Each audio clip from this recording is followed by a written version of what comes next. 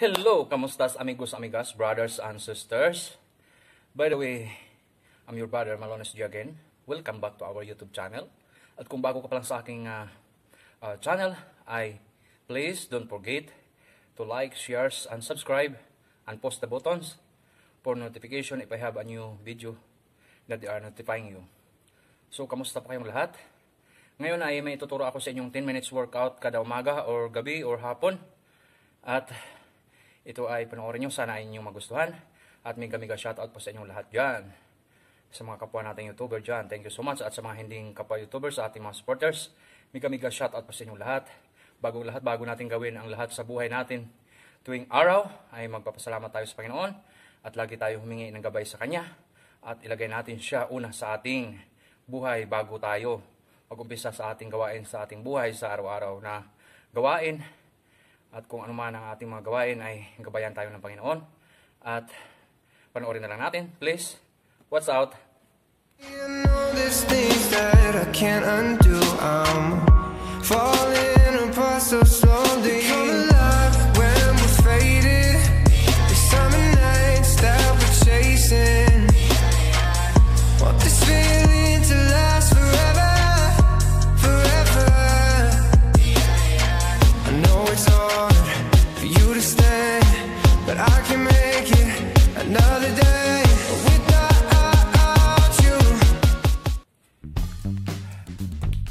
Hello mga kamigos, amigos, brothers and sisters habang nagpapasok po ako.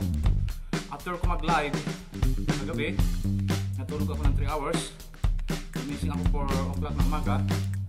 Naglaba ngayon, nagsampay. So ngayon, matulog ulit ako. Pero inisip ko mag-exercise muna. Ang tawag ko nito ay planking para sa ating stomach. Ayan. Sinududuin nyo lang, dadapa lang kayo. Kung hindi ganito yung inyong side, mag-sabin pa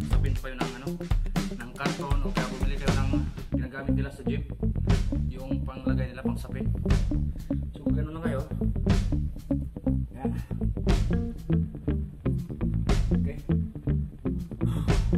after that bring your your knees one two three four five six seven eight nine 10, 11, Ayun.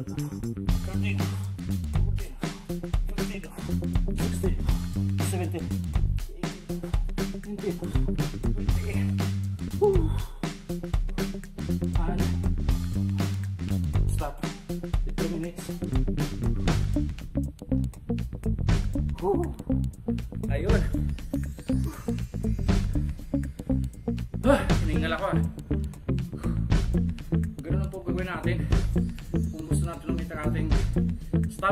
Tiyan, ganun lang po dapat gawin. Bago kami. Ulitin natin yan ng tatlong beses. Three times, okay?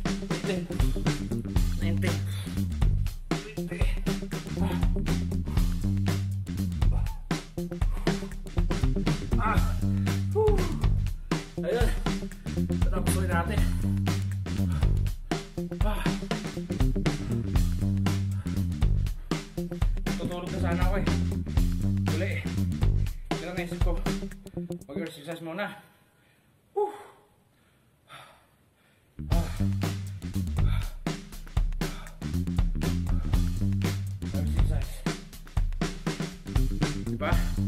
Pero bago natin gawin ang lahat sa ating buhay, ayunahin po natin ang Panginoon. Dahil siya lamang nagbibigay sa atin ng kalakasan at ng ating kalusugan. Ang ating buhay ay hawak niya. Hindi natin alam tayo dito sa sinibutan nito. Kaya, kahit na ano man natin gagawin sa ating buhay, kailangan na iunahin natin ang Diyos. Okay mga kapatid, another one. Whew. planking pa rin pero ito ang third or success na planking. Okay. 1 2 3 4 5 6 7 8 9 oh 1 2 3 4 5 6 7 8 9 penting uh. Ayun na bahala magdagdag mga kapatid Pagod talaga Sinawisan na ako Siyempre sa stomach natin yan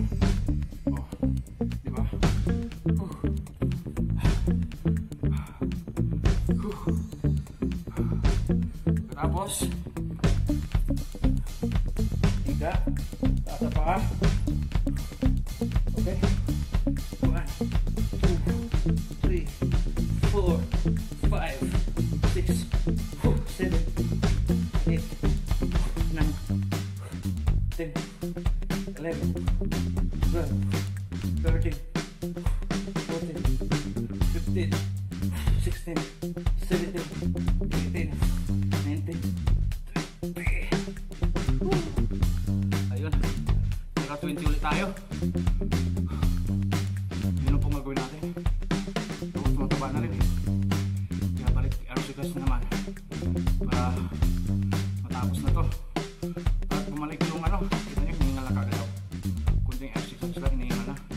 Ito ay simple tips na naman.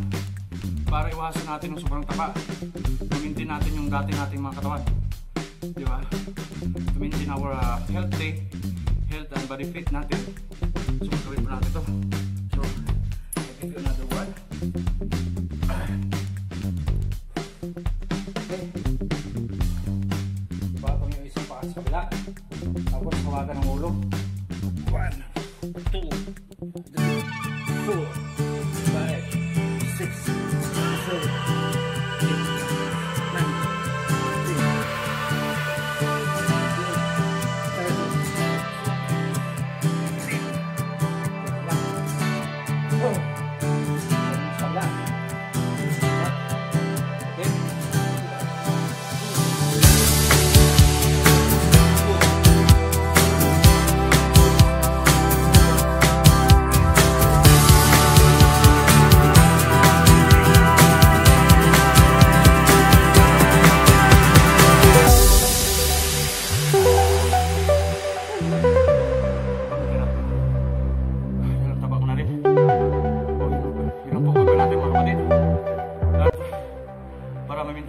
hindi nyo kaya, for example, hindi nyo kaya yung katawan nyo, di ba?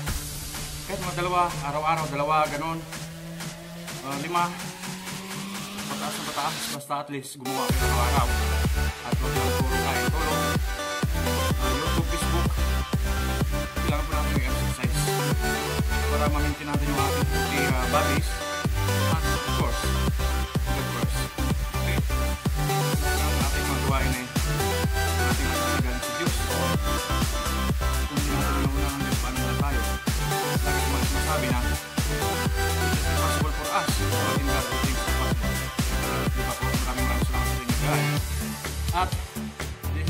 One.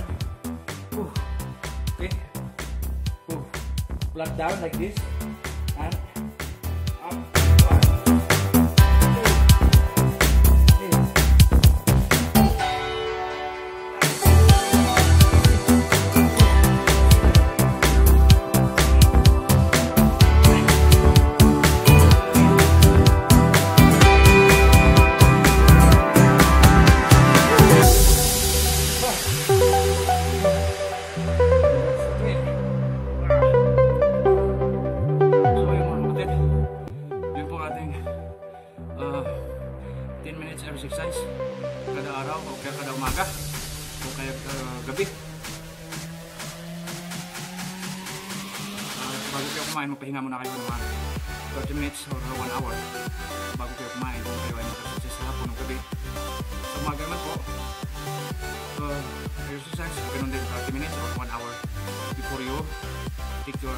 Uh, breakfast and dinner, okay? Pwede kayong kumain ng marami sa tanghali pero sa gabi, bawas-bawas na kayo. Para may iwasan natin yung sobrang taba. Pag kumain kayo sa gabi, huwag na lagpas ng 7 o'clock. Kaya 7 to 7.30. Yung mga tingin. Sa breakfast naman, o ganun din mga 6, mga 6 or 6.30 and to 7. Sa lunch, sa lunch naman mga 11 o 11.30 to 12. Ganun, okay? Para ang ating dig- digestive ay ma-plus out, ma-clean. Di ba? At lalabas. So, baka sabihin nyo, oh, si Brother Malones eh, nagtuturo ng salita ng Diyos tapos nasabayan ng exercise. Of course, literal exercise with the Lord. Okay? Ganun po yun. Ah, kaya huwag kayong mag-alala. Ang ating pag-efficacy uh, natin sarili kasama ang Diyos ay tayo ay hindi nagagawa ng labag sa Kanya. Hindi tayo ay nag-honor sa Kanya with our exercise. To inspire our brothers and sisters also, okay? Para hindi po kayo ma-stress at para hindi po kayo uh, mawala ng pag-asa sa inyong buhay. Okay? Unahin ng Diyos. Okay, this is the last one. This is a mountain climbing. Alam ko naman, na- alam niyo na to eh. Marunong na kayo gumawa nito, eh, di ba? That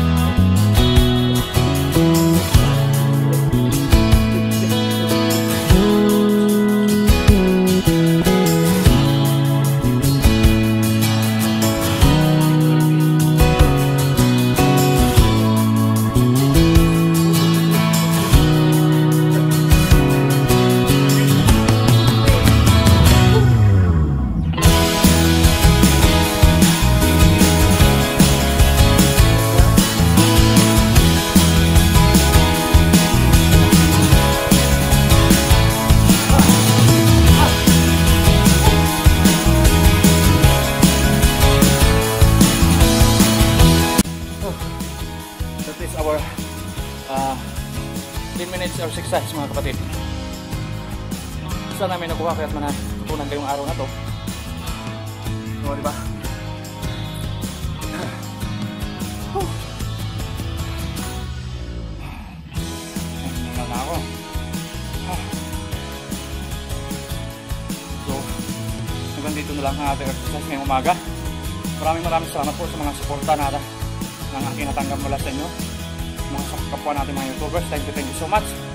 Ani kami ka-shoutout to the supportive leader of Team Kasolid, Kapag sa and Boss Jim Tick. At sa ating mga members dyan, maraming maraming salamat. At sa Team Abroad and Team Abu Dhabi. Thank you so much. At kung ano man ang ating ginagawa sa araw-araw, unahin natin ang Diyos na gumawa ng langit at lupa, ilagay sa ating sarili at sa isabuhay po natin. So maraming maraming salamat sa inyo mga kapatid.